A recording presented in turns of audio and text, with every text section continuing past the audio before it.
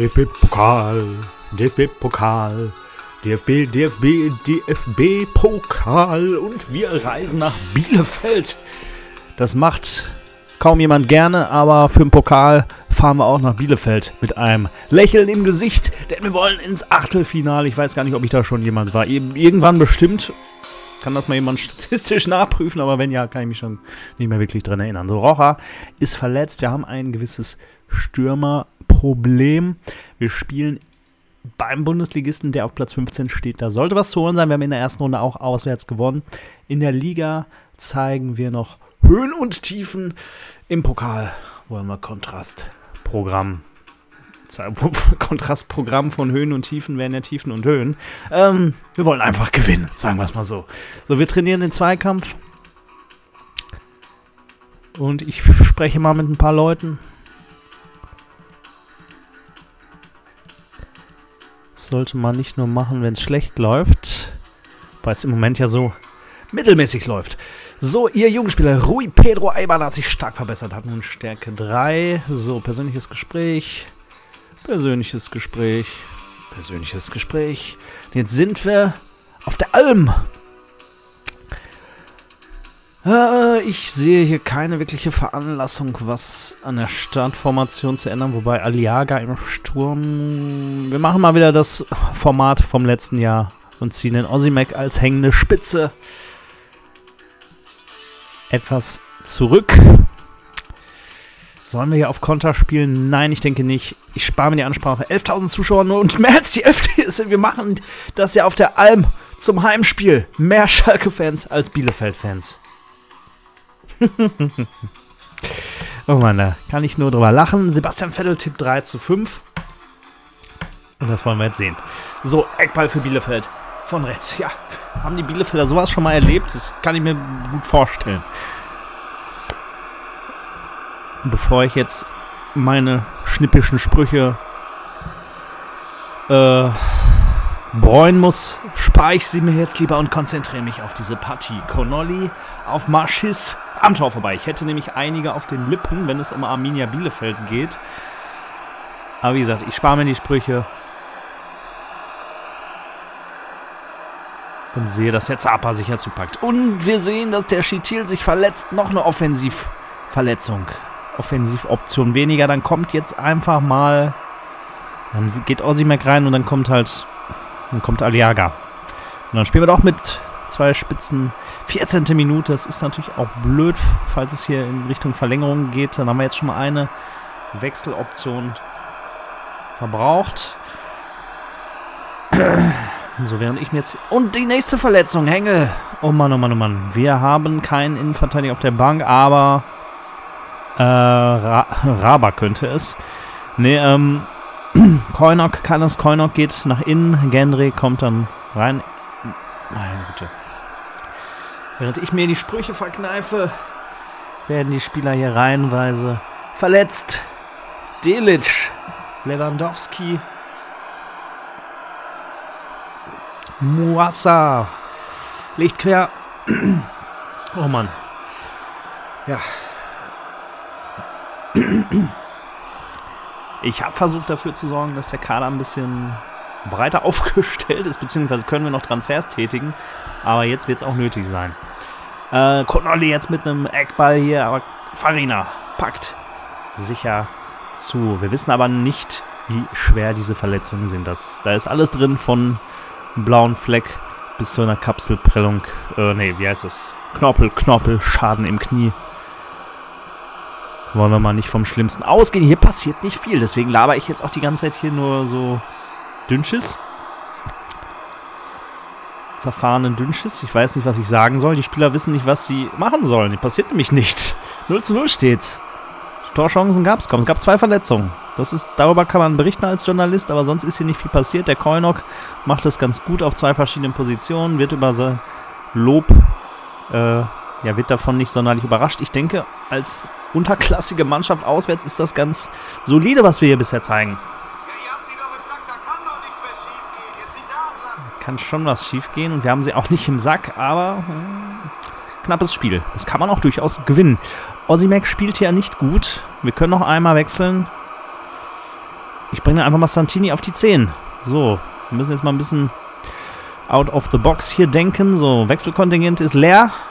Barkok gegen den Bundesligisten jetzt hier mit ungewohnter Formation, nicht ungewohnter Formation, aber ungewohnter Besetzung. Neves schießt knapp am Tor vorbei, deutlich am Tor vorbei.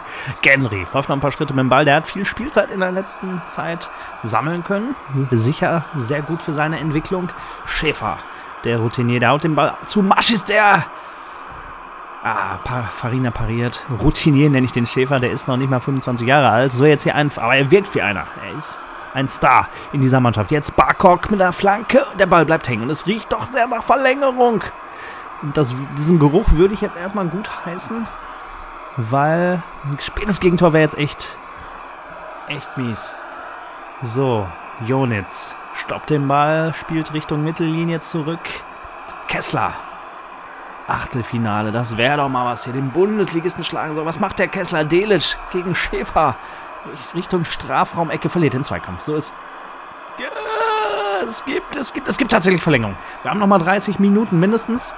Barkok gegen Silic. Aber generell noch nicht oft Verlängerung oder Elfmeterschießen gehabt. Das ist immer ein Erlebnis. So, hier passiert immer noch nicht viel. Die Ah, Gendry in der 104. Minute wird von Gallagher gestoppt. Die erste Halbzeit der Verlängerung ist rum. Soll ich irgendwas hier noch ändern. Wechseln kann ich ja sowieso nicht mehr. Acht Minuten noch. Dann gibt es Elfmeterschießen. Es passiert nicht viel, aber es ist verdammt spannend. Deswegen. Barkok legt quer. Jonitz schlägt noch einen Haken. Neves fährt dazwischen und schlägt ihn mal weg. So, zur Not nehmen wir das Elfmeterschießen. Das ist ein bisschen wie. Oh, der Machschieß macht das in der 120. Minute. Barkok mit dem unfreiwilligen Assist. Und in der 120. Minute besiegen wir die Gastgeber von der Alm. Boah, Maschis mit dem goldenen Tor. Die Bielefelder können sich glauben und wir sind im Achtelfinale. Das ist ja nicht zu fassen. Ist das ein Erlebnis? Wir sehen selten so späte Tore vor allem nicht in der 120. Minute. Das ist in 595 Folgen. Wie weit sind wir? Das ist ein Debüt ein erstmaliges Erlebnis. Wir sehen, um die Euphorie hier ein bisschen zu dämpfen, ein Zehnbruch bei Chitil. Glatter Bruch ist nie so toll, der wird uns eine Weile fehlen. Und Hänge mit einem Kreuzbandanriss. Die kleinen Buchstaben A und N, die machen hier einen großen Unterschied. Kreuzbandriss wäre natürlich ungefähr so schlimm wie ein Kapsel, äh, wie ein, wie ist das, Knorpelschaden im Knie, Kreuzbandanriss. Ich weiß jetzt nicht, ob das harmlos ist oder so mittel. Ist aber, glaube ich, beides nicht so krass schlimm. Aber wir werden beide dennoch wahrscheinlich einige Spiele jetzt nicht dabei haben. Wir zahlen 63.000 Euro und die zahle ich auch gerne. Mills, der beste Spieler, Spiel bekommt die Note 4 und wir sind im Achtelfinale. Wie oft war ich schon im Achtelfinale? Ich weiß es gar nicht. So, Regensburg besiegt Dresden im Elfmeterschießen. Fürth besiegt Union. Wen hätte ich denn jetzt mal gern als Gegner? Freiburg schmeißt Cottbus raus. Es gab hier noch einige Verlängerungen, auch einige Elfmeterschießen. Bayern besiegt Burghausen. Äh, die erste Mannschaft von Bayern besiegt Burghausen in der Verlängerung. Kaiserslautern besiegt Unterharing in der Verlängerung. Rostock verliert gegen Gladbach im Elfmeterschießen. Stuttgart schmeißt Leverkusen raus. Flensburg verliert gegen Wolfsburg. Drittligist Mainz 2 besiegt Bundesligist Fortuna Düsseldorf. Köln, 1. FC Köln verliert gegen Augsburg. Wien Wiesbaden verliert im Elfmeterschießen gegen Magdeburg. Die Amateure von Optik Rathenau verlieren gegen Viktoria Köln. Paderborn verliert gegen Darmstadt. Offenbach verliert gegen Bayern München 2. Heimstetten verliert gegen Hannover 96. So, wenn ich mir jetzt einen Gegner wünschen darf, dann hätte ich doch gern Bayern München 2. So, Auslosung ist immer spaßig, ob wir dabei sind oder nicht. Aber wenn wir dabei sind, natürlich noch mehr. Viktoria Köln, das könnte ein Derby. Ne, ist der FC. Ich habe es gerade gar nicht auf dem Schirm war der erste FC Köln weiter. Nicht egal, Viktoria spielt gegen Kaiserslautern, Bayern, erste Mannschaft spielt gegen Gladbach, Gräuter führt mit einem Heimspiel gegen VfB Stuttgart. Jan Regensburg auswärts beim Bundesligisten brauche ich nicht nochmal, auch wenn es hier geklappt hat. Wir haben bisher zwei, zweimal auswärts gewonnen, vielleicht sollen wir dann vielleicht doch auswärts spielen, aber nicht unbedingt bei einem Bundesligisten. Regensburg gegen Freiburg, Hannover gegen Magdeburg, Bayern 2, ich habe sie mir gewünscht, kriege ich sie auch? Nein, die spielen zu Hause gegen den VfL Wolfsburg. Wir haben noch eine zweite Mannschaft, Mainz 2, da habe ich auch mal gearbeitet. Das wäre auch attraktiv und genau da fahren wir hin. Und da rieche ich doch jetzt schon das Viertelfinale. Ich meine, wir haben jetzt den Bundesligisten geschlagen Der Pokal hat seine eigenen Gesetze. Ich stecke die 5 Euro ins Phrasenschwein. Da sollten wir jetzt nicht übermütig und arrogant hier gegen einen Drittligisten und eine zweite Mannschaft auftreten. Aber das ist nah an meinem Wunsch los. Wir spielen bei einer zweiten Mannschaft gegen eine unterklassige Mannschaft und wieder auswärts. Darmstadt spielt außerdem gegen Augsburg. So, Siegprämie gibt es dennoch, auch wenn es eine zweite Mannschaft ist. Zweieinhalbtausend Euro. Spannender geht es kaum noch. Wie geht es Ihnen nach dieser Nervenschlacht? Ich entschuldige mich, falls das Mikrofon hier übersteuert hat jetzt mehrmals, aber meine Stimme, meine Gefühlslage hat auch übersteuert. Meine Güte, was war das für ein Finish hier? 120. Minute und der Maschis, der kriegt, dem müssen sie das Grinsen operativ aus dem Gesicht entfernen in den nächsten Tagen. Das ist ja nicht zu fassen, was, was also eines der wichtigsten Tore, die ich hier in über 500 Folgen gesehen habe. So, wie geht es Ihnen nach dieser Nervenschlacht? Kein Problem, das kann ich schon wegstecken. Meine Nerven sind ziemlich gut, ich bin völlig fertig, einfach schweißgeber, schätze, ich habe mindestens zwei Kilo abgenommen. Ich sage das, ich meine es aber positiv, das war ein Erlebnis. Davon erzählt man noch den Kindern, aber leider hat hier ja niemand mehr der Fußballwelt des Jahres 2060 Kinder. Oder kriegt zumindest keine mehr. Aber das ist ein Erlebnis. Da wenn sie mich hier konservieren und ich in Folge 1596 auch noch dabei bin, dann werde ich da immer noch von reden. Was unterscheidet Ihrer Meinung nach einen guten von einem schlechten Trainer?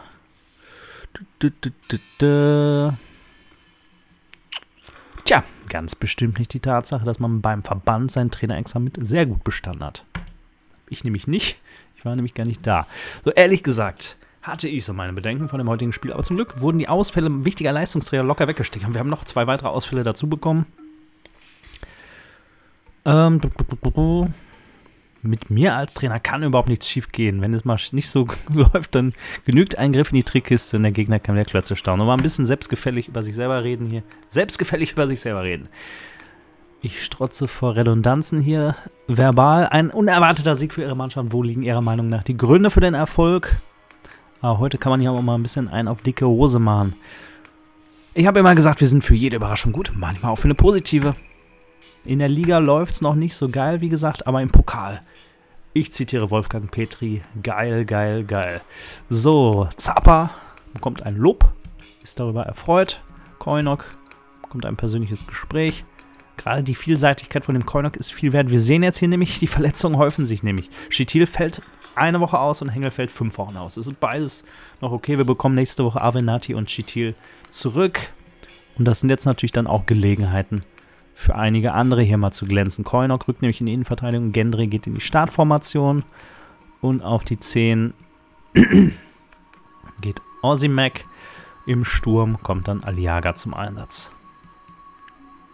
Marin geht auf die Bank und Mara freuen sich auch mal dabei zu sein. Wir spielen jetzt gegen Nürnberg zu Hause. Die stehen in der Liga direkt hinter uns. Die sind punktgleich. Zehn Spiele sind gespielt. Wir müssen jetzt bei aller Pokal-Euphorie auch das Tagesgeschäft in der Bundesliga bedenken. Das ist ein gleichwertiger Gegner. Heute erwarte ich höchste Konzentration. Wir haben es mit einem gleichwertigen Gegner zu tun. Sie blicken in Gesichter, die bereit sind, alles zu geben. 16.000 Zuschauer, zwei Teams, die bisher in dieser Saison so sind wie der Platzzustand. Hier nämlich mittelmäßig. Bigot Prince tippt 2 zu 2. Let's go. Zu Hause haben wir bisher durchaus überzeugt, bis auf das eine Spiel.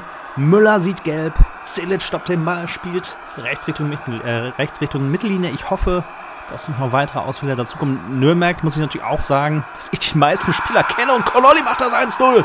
Hätte ich jetzt eigentlich auch ansprechen können. Hier kenne ich fast jeden auch immer noch Geboho unter anderem, Iredale, De Almeida. Obwohl mittlerweile kenne ich nur noch so circa die halbe Mannschaft. Ozimek jetzt gegen Hail Selassie. Passt auf Eichmann, der haut ihn mal hoch in den Strafraum, da kommt keiner mehr ran. Connolly mit dem zweiten Saisontor. Rote Karte wegen Schiedsrichterbeleidigung für Eichmann. Der hat doch im letzten Jahr, oder was, letztes oder vorletztes Jahr, ja, letztes Jahr was, was ähnliches gemacht. Da fehlte er zehn Spiele oder so, wegen auch einer verbalen Grätsche, nicht einer Blutgrätsche. Jetzt macht er ein Jahr später dasselbe nochmal bei unserer personellen Lage. Ey, wenn er jetzt wieder zehn Wochen gesperrt ist, dann, dann muss man wirklich mal überlegen, ob wir den Mann hier auf Dauer halten können. kann er sich nicht mal auf die Zunge beißen und den blöden Spruch, den er im Kopf hat, runterschlucken. Das habe ich in Bielefeld doch auch gemacht.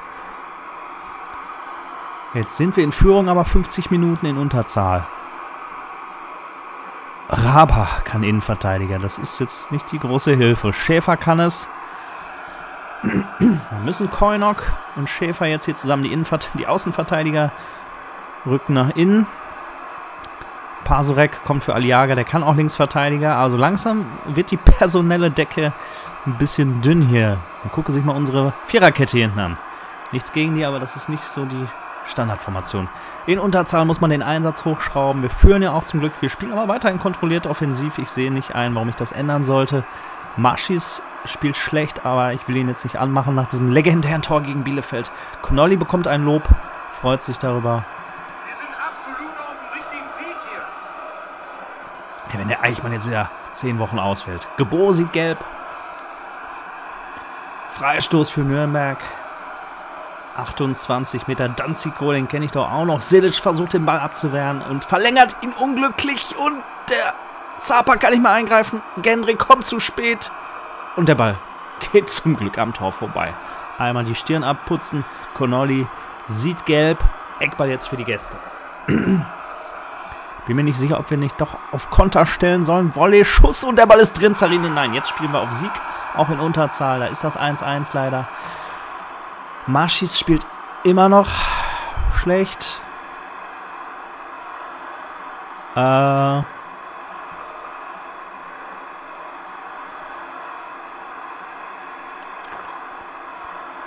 Ähm. Das machen wir. Marin kommt einfach mal für Osimek.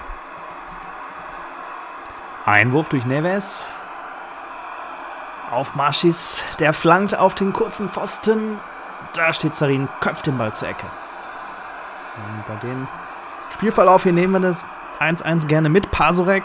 Marschis kommt zum Kopfball und trifft. Gut, dass ich ihn nicht rausgenommen habe. Er macht wieder ein wichtiges Tor, ein goldenes Tor vielleicht, wenn das Spiel in der Spielverlauf jetzt keine weiteren Gegentore zulässt. So Lehmann, sollte ich auch nicht vergessen, kommt für Konolli. Dreimal gewechselt und, und, und, und, und Kowal nochmal. Kowal nimmt den Ball mit Pasorek, wird ins Leere gelaufen, gelassen, Leere laufen gelassen. Der Ball landet hinterm Tor.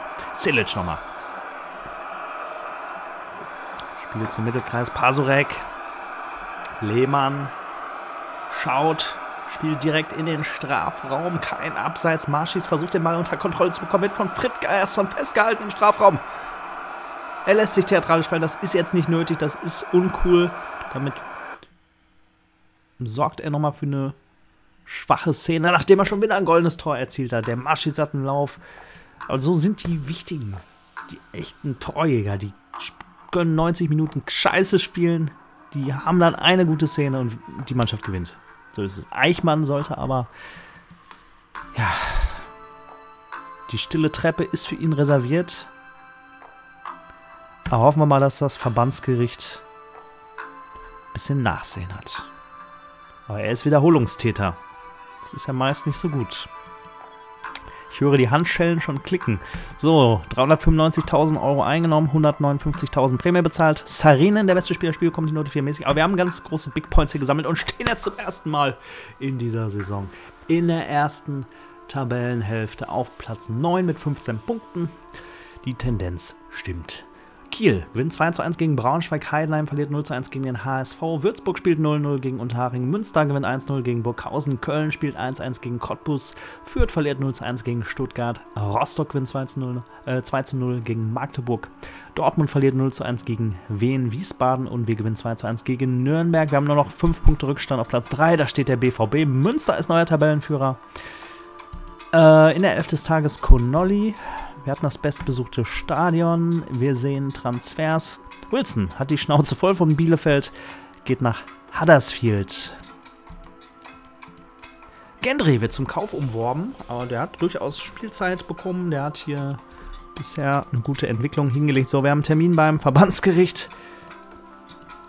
Ich habe, wir haben in der vergangenen Woche 280.000 Euro eingenommen. Es gibt 500 Freikarten, 500 Karten Auswärtszuschuss für das Spiel in Unterhaching. Da spielt ja auch unser Freund Jaria. Der Vorstand ist immer noch nicht gerade amused. Aber das Pokal Spiel, das war ja ein Knaller. So, äh, ich rede immer noch davon, obwohl wir gerade in der Bundesliga gewonnen haben. So, Hengel, Chitil werden besucht. Ja, viel zu tun. Chitil kann aber schon wieder theoretisch spielen am Wochenende. Er wird vier Spiele gesperrt, Eichmann. Das ist ja weniger als die Hälfte vom letzten Mal, ist aber dennoch ein Monat. Und unnötig ohne Ende. Wir legen Einspruch ein. Einfach mal, damit der Anwalt auch mal was zu tun hat. So, Gendre, Wissler, Krakau und Wacker Burghausen. Der Mann ist ein mittleres Talent, 18 Jahre jung. Er hat noch drei Jahre Vertrag. Wir hören uns. Oh, der verdient noch fünfstelliges Gehalt hier. Ähm, hören uns einfach mal an. Der Frank Klemmer. Von wen wie. Wacker Burghausen, der bietet über mehr als eine Million als er wert ist. Er ist 1,56 wert, der bietet schon 2,55. Aber gerade bei unserer personellen Situation kann ich mir das jetzt nicht eigentlich, eigentlich nicht erlauben, jetzt hier welche abzugeben. Aber wir gucken mal, wie hoch der Preis steigt. Vielleicht wird es ein Angebot, was wir nicht ablehnen können. Aber ich denke, dass wir ihn jetzt nicht abgeben sollten. Die hatten, er hat den doppelten Marktwert geboten. Aber dann auch noch gerade an den Liga-Konkurrenten. Da hätte man Geld verdienen können, aber wir haben genug Geld. Es geht ja auch nicht nur um Geld. So. Ähm. Hoffe, dass er jetzt nicht auch pissig ist. Nein, er ist überzeugt von seinem neuen Angebot. Die Gehaltserhöhung hat er sich auch durchaus verdient. Champions League, sechster Spieltag, wenn mich nicht alles täuscht. Mit, ich glaube, für alle deutschen Clubs geht es noch um was. Aber die Ausgangslage war nicht überragend für alle. Für manche, ähm, ja, gu gucken wir mal. So, Gruppe 1, Real Madrid und Everton sind weiter. Alkmaar geht in die Europa League. Tula ist ausgeschieden. Frankfurt gewinnt 3 2 gegen Turin, ist damit sogar Gruppensieger, zusammen mit Turin weiter. Moreirense geht in die Europa League. Brøndby geht nach Hause. Hallischer FC spielt 1-1 gegen Toulouse. Die gehen damit in die Euroleague. Immerhin international geht es weiter für den Hallischer FC. Fragen sich auch einige internationale Vertreter, wenn sie den Namen lesen wo sie denn da jetzt hin müssen. Aber das ist ja auch die Attraktivität, dass man hier nach so vielen Jahrzehnten auch mal neue Gesichter sieht im internationalen Tanz. So, Fenerbahce und Granada sind weiter. Toulouse ist weg. Titelverteidiger Chelsea ist auch weg. Straßburg und Edinburgh sind weiter. Sion geht in die Euroleague. Gruppe 5, Brighton and Hove und Neapel sind weiter. Kopenhagen geht in die Europa League und Craiova ist ausgeschieden. Brighton and Hove, sind das zwei Städte in Fusion oder warum, warum and? Ähm, Gruppe 6, Huddersfield und Udinese Calcio sind weiter. Zürich geht in die Euroleague, Sivasspor ist weg. Augsburg verliert 2 zu 1 gegen Amiens, damit sind sie auch zum Glück äh, nicht ganz weg. Ich hätte jetzt gedacht, die sind weg, aber nein, Grosny war ja noch schlechter. Augsburg geht damit auch in die Europa League. Amiens und Warschau sind weiter. Und dann haben wir noch Freiburg, die gewinnen 2 zu 1 gegen Lens, gehen auch in die Euroleague. Es hat dann nicht für Platz 2 gereicht. Am Torverhältnis ist es gescheitert. Sociedad und Thessaloniki sind weiter. Freiburg geht in die Euroleague Lens, ist draußen. Damit jetzt die große Euroleague-Invasion hier. Freiburg geht in die Euroleague runter, Augsburg geht in die Euroleague runter und auch Halle. Nur noch Eintracht Frankfurt in der Champions League. Und die eigentliche Euroleague, die haben wir ja auch noch. Aber ohne Fortuna Düsseldorf. Da haben wir Glück, dass wir jetzt die drei Euroleague-Absteiger hier bekommen. In Gruppe 1 Brighton and Hove, Udinese Calcio, Granada und Thessaloniki. Gruppe 2 FC Everton, Juventus, Turin, Lega Warschau und Sociedad. Gruppe 3 Neapel, Frankfurt, Amiens und Straßburg. Zwei französische Clubs. In Gruppe 4 Real Madrid, Huddersfield, Fenerbahce und Edinburgh. Alle anderen Gruppen jeweils mit vier verschiedenen Nationen. Dann haben wir hier in der Europa League äh, Halle, Hallischer FC gegen FC Utrecht, FC Augsburg gegen FC Zürich, zwei FC-Duelle jeweils und SC Freiburg gegen Celtic Glasgow. Das sind doch hochkarätige Matches hier. Angelika, die neue Freundin von Robert Mara, verlangt diesem alles ab. Er ist deshalb auf dem Platz zurzeit ein wenig müde und verliert zwei Konditions- und fünf frische Punkte. So, das muss ich mir jetzt nochmal hier schriftlich bestätigen lassen. Robert Mara hat eine Freundin. Damit ist er der Einzige im ganzen Kader. Ja, die Frauen, wenn sie jetzt nochmal einen jungen Fußballer abbekommen, müssen sie die auch direkt richtig richtig äh, ja, in die Verantwortung nehmen. Um es mal so auszudrücken. Weil die anderen wollen ja nicht. So, der Mara, der ist richtig Fick und fertig, um mal Bauer sucht Frau zu zitieren. so, Sie merken, das Niveau sinkt heute für Sie und ich hoffe, dass der FC Schalke hier in der Tabelle nicht sinkt, sondern in Richtung Aufstiegsplätze geht. So, wir sehen, Avenatti könnte wieder spielen, tut es aber noch nicht. Chitil kann wieder spielen und aufgrund der personellen Lage wird er das auch tun. Ozimac wird als hängende Spitze genutzt. Avenatti wartet noch ein bisschen. Rocha kommt in zwei Wochen zurück. Eichmann fehlt vier Wochen. Hengel noch fehlt noch vier Wochen. Gonzales fehlt noch 14 Wochen. In der Innenverteidigung Schäfer und Koinok. Nö. Es wäre ja auch ein bisschen Verhöhnung, wenn der junge Innenverteidiger Reichert jetzt hier völlig konstant ignoriert würde. Der kriegt jetzt einfach mal die Chance. Konrad Reichert, 17 Jahre jung, spielt hier zusammen mit Koinok in der Innenverteidigung. Wir spielen in Unterhaching, sehen unseren Freund Maxim Jaria hier wieder, der bei Unterhaching schon neunmal gespielt hat. In Unterhaching bin ich bekannt wie ein bunter Hund. Das weiß jeder. Und die stehen auf Platz 4. Wir könnten punktetechnisch gleichziehen, wenn wir hier gewinnen. Ansprache schenke ich mir mal 9200 Zuschauer. Wir haben viele Auswärtsfans dabei, auch hier fast 2000 Schalker am Start. Dieter Bohlen tippt 2 zu 1 auf Unterhaching. So.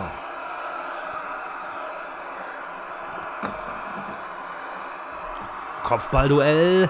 Neves kann sich durchsetzen. Silic. Pass zurück ins Mittelfeld. Gendry wechselt den Flügel. Neves will den Ball vor den Strafraum spielen, tritt in den Boden. Der Ball landet im Aus. Schäfer mit dem ersten Saisontor bringt uns in Funk der junge Konrad Reicher direkt mit dem Assist.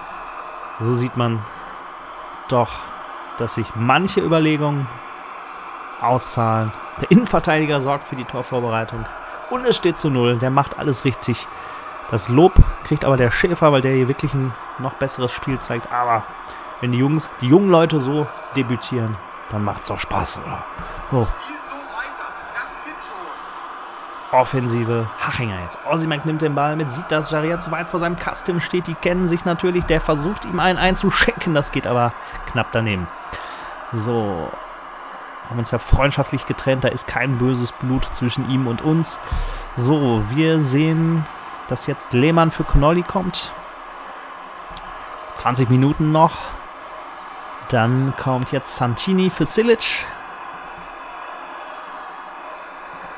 Und noch eine Viertelstunde. Gendrey überzeugt hier nicht so ganz.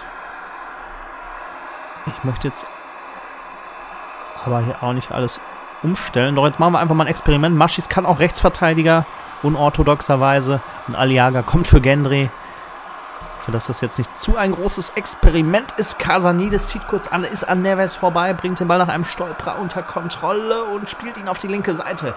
Können wir hier drei Punkte entführen. Das wäre ganz, ganz, ganz elementar wichtig, um hier in der Hinrunde noch Chancen auf den Aufstiegsplatz zu haben. Maschinen zieht ab und der Ball ist drin und da ist das 1-1 und ah, es riecht dann doch wieder nach unserem altbekannten ich möchte es nicht Lieblingsergebnis nennen, weil ich freue mich hier nicht drüber, aber wir spielen mal wieder 1-1. Es erinnert aber an die letzte Saison.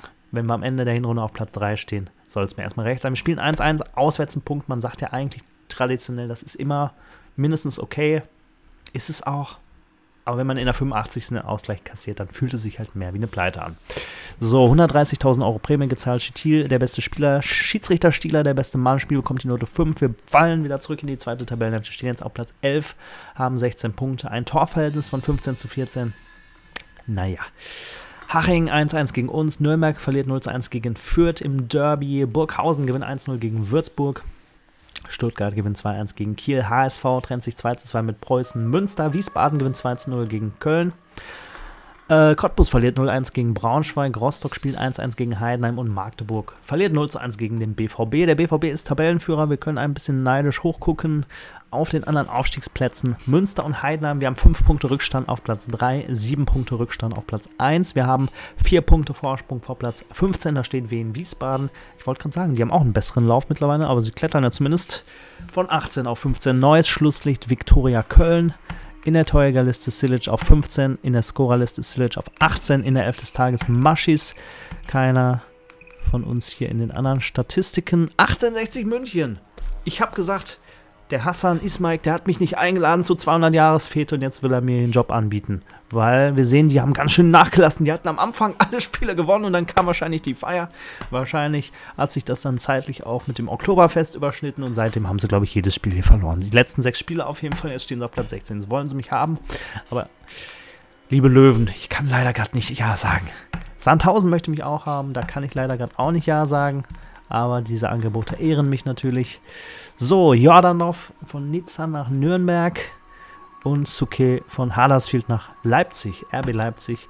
Reichert, der junge Witt. Nach diesem gelungenen Debüt hat sich dann noch direkt ein Leihinteressent gefunden. Ja, manchmal muss man die, ich möchte jetzt nicht sagen, die Ware ins Schaufenster stellen, aber metaphorisch gesprochen ist das vielleicht doch das, was ich sagen wollte. Auf jeden Fall, jetzt hat der Reichert einmal gespielt, jetzt hat er auch direkt einen Leihinteressenten gefunden und dann wird man sich auch sicher einig. So, wir haben als nächstes Spiele anstehen gegen 1. FC Magdeburg, FC Energie Cottbus, freut mich auch, da mal wieder hin zurückkehren zu können und gegen FC Hansa Rostock, sehr oft FC, lese ich hier in jedem Namen.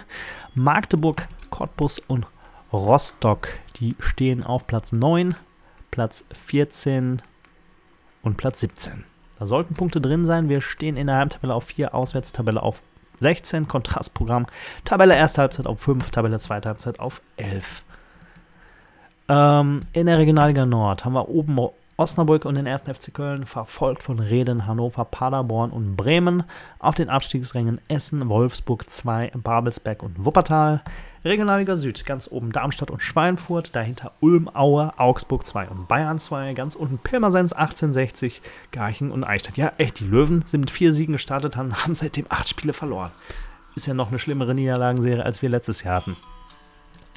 Oh, zapft ist. So, in der Bundesliga, Tabellenführer Leipzig noch ohne Niederlage, verfolgt von Wolfsburg, Mainz, Frankfurt, Gladbach und Augsburg. Wird schon wieder ein Aufsteiger hier, deutscher Meister. Gab es das schon jemals zweimal in Serie? So, auf den Abstiegsrängen Bayern München, Ingolstadt und Bayer Leverkusen. So, finanziell haben wir schon 4,4 Millionen Euro Gewinn gemacht in dieser Spielzeit. In der vergangenen Woche 1,6 Millionen Euro verloren. 56,56 Millionen auf dem Konto. Vorstand ist aber immer noch ein bisschen schlecht gelaunt. Die Fans bekommen 500 Karten Auswärtszuschuss. In Cottbus kann ich auch ein paar Kneipenempfehlungen geben. Unsere Jugend, die A-Jugend steht in der zweiten Liga auf Platz 18. Unsere B-Jugend, im Kontrast dazu, in der zweiten Liga auf Platz 1. Unsere C-Jugend steht in der zweiten Liga auf Platz 4. Ähm, ja, und dann habe ich jetzt auch, glaube ich, mir alles angeguckt, was ich mir angucken wollte. Und sage Tschüss, bis zum nächsten Mal. Machen Sie es gut. Bye, bye.